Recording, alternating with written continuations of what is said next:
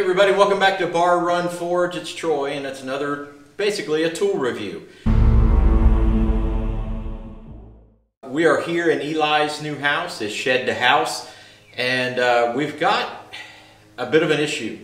We, we've been converting part of the building, the shop, into a wood shop, and the, the old uh, miter saw that we had, sliding compound miter saw, the old DeWalt that I've had for long time, has finally kind of bit the dust. We're working on getting some parts for it to get it back up and going. But it's kind of a stationary. It's a really heavy old piece. And we're going to be here in the shop, or uh, not here in the shop, but we're going to be here in Eli's house for some time. And we're going to need a miter saw. If there is one tool, basically, for cutting, uh, when it comes to a, a project like this, a sliding compound miter is the tool to have. Uh, you know, you got your hammers, you got your drills and, your, and things like that. But when it comes to cutting, there is no substitute for a sliding compound miter saw. Uh, it is such a versatile tool uh, for doing construction. And so we looked at our local Harbor Freight and they had a great deal on these new uh, arm saws. I call them radial arm saws. They're sliding compound miter saws. The old school would be the radial arm saw. Anyway, they had a great deal on these sliding compound miter saws. Uh, this is kind of their new line that they carry is their, I don't want to say lower end, but just a different end. Uh, it's called Admiral. The deal they had on these was just unmatched. There was no way I could not do this for a smaller uh, I say smaller unit, but it's really not. It, is a 12 inch sliding compound miter saw. It is a 15 amp motor. That's pretty much all of them. All of them have a 15 amp motor. They're 12 inch, they're sliding compound. It has a laser guide on it. Uh, it's got a slide out table for uh, support.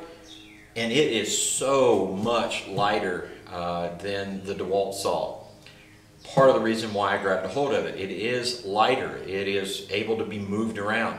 The other sliding compound miter saw we have on the stand, it's, it's unbearable. I mean, it's just, you almost have to have two people to move it.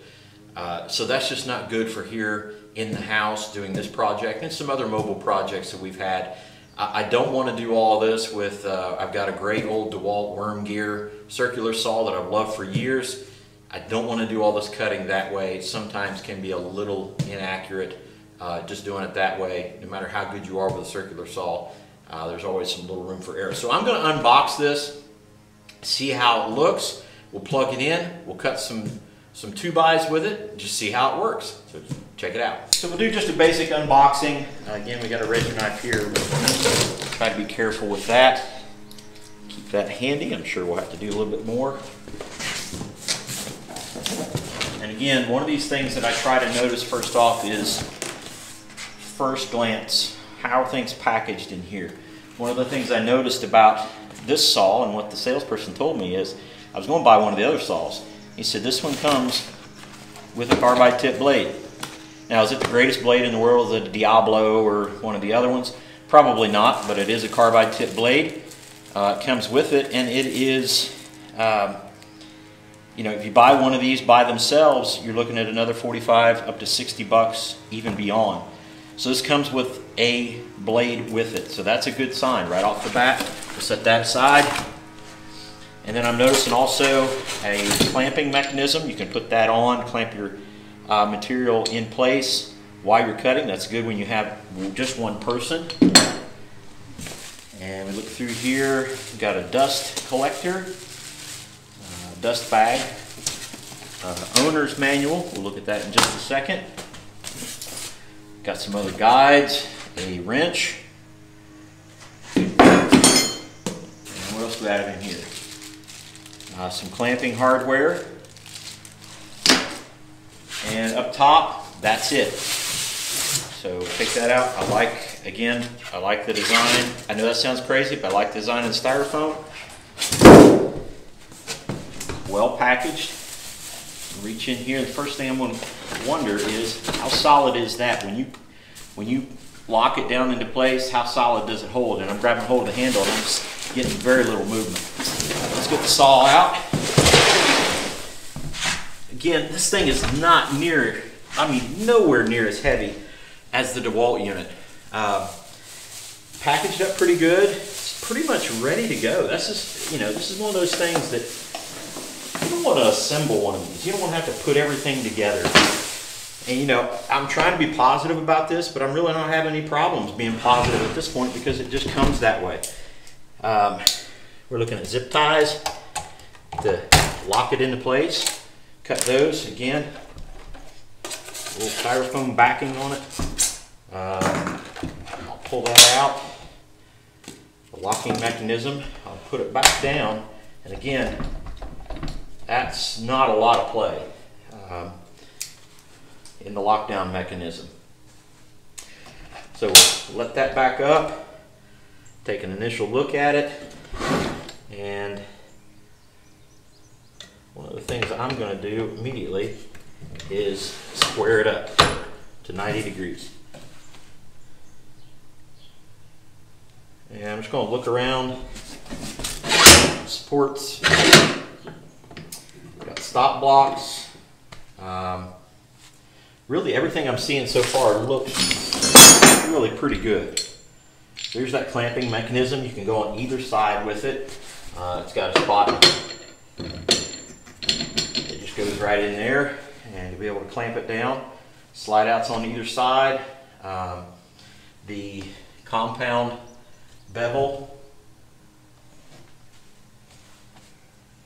So you can put multiple bevels on it again, I, am really not having any issue with it so far. Uh, slides freely, lock down into place. Oh, I like that. That's actually a really cool thing. This locking mechanism here, um, if you got it set like that, it'll automatically lock in place. So one of the things you have to make sure is you turn it the 90 degrees there, and then you can just let go. Liking that. Uh, it's got two switches, one for the laser uh, and one to turn it on. Got the safeties. You cannot, I like the cross handle as well. So to, so to operate it, you pull in this with your thumb, this little safety right here, and it's either way. I like that, that's nice. So you pull in the safety, down you go. You cannot start it without the safety. There's no way to do that. Great little safety tip on that, safety measure. Um, really, at this point, all I need to do is look at the directions, make sure I'm not missing anything, put the blade on, and uh, get to cutting. Okay, assembly has been done. Uh, there's a couple things I will say.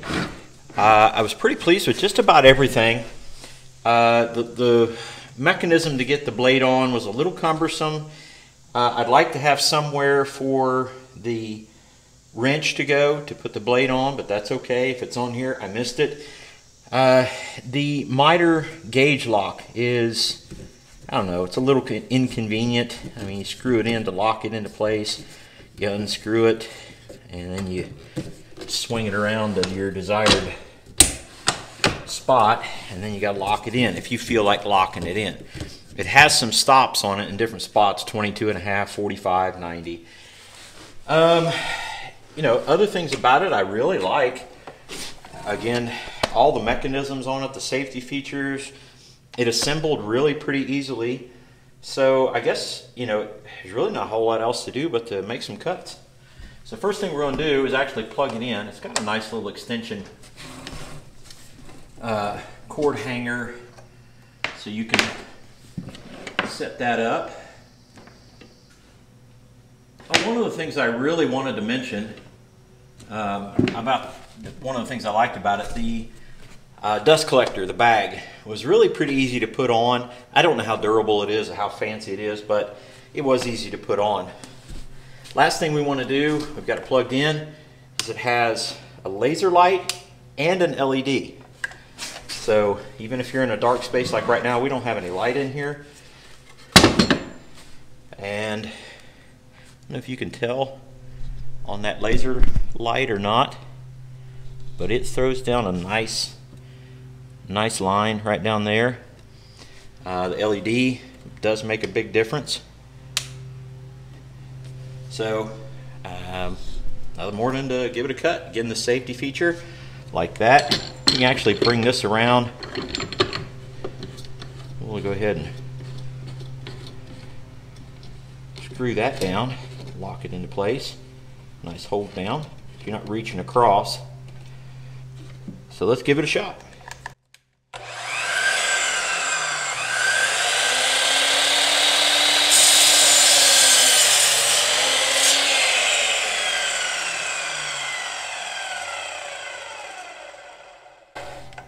Nice clean cut. Looks really good and square. So that was pressure treated 2x4. So I'm going to do, I've got a little chunk of pressure treated 4x4 because one of the reasons why you get a, a 12 inch saw is for things like this. So let's adjust this. Again, I'd like to keep my hands out of the way. Yeah, I'd like to make this cut. This has got a lot of adjustment space on it for the hold down. So I'll lock that into place. Get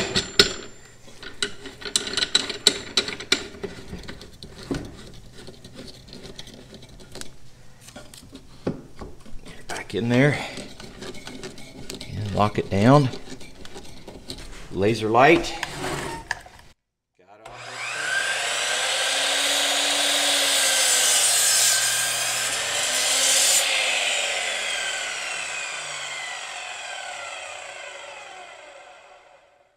I'll tell you what, that is a nice, pretty clean cut, and it didn't even budge at a 4x4 pressure treated. So there you have it, folks, on the Admiral 12-inch uh, compound sliding miter saw from Harbor Freight. Uh, 15 amps. It's got the LED light on it, the laser on it. For the price that we got it for, heck, for a normal price, so far I see well worth it. I mean, you guys that have cut through uh, pressure treated lumber before know that sometimes, boy, it can really bog it down. But this tool right here seemed to really do the trick. It's much lighter than the DeWalt. Uh, I, I, know that's good and bad at the same time. But to do this project in here and any other small projects, to lug this one around is going to be a whole lot easier uh, than lugging around that big DeWalt saw. Plus, we got to get it fixed and some parts on it so it can stay in the wood shop. This is going to be kind of our mobile uh, setup here, and I really kind of like it. We're probably going to put it up on a stand. Uh, it's not a necessity. I mean, we can walk right over to this, put one down, chop it, be done with it, and uh, we've got a whole floor here to work off of. So I'm excited about being able to use this saw. I'm excited about the project here uh, in the shed to house. We're going to be coming out with some uh, some new videos on that very soon. I think the the newest one will be the framing of the interior. So you get to see what the interior layout is going to be here in Eli's Shed to House. Thank you guys so much for joining us. Uh, we thank you for every time you come in and join us on our videos here at Barr Run Forge, Barr Run Farm, and uh, I don't know, whatever the Shed to House project is going to be, how we call that. But anyway, we appreciate you all. Thank you so much for coming in. God bless, and we'll see you on the next one. Take care.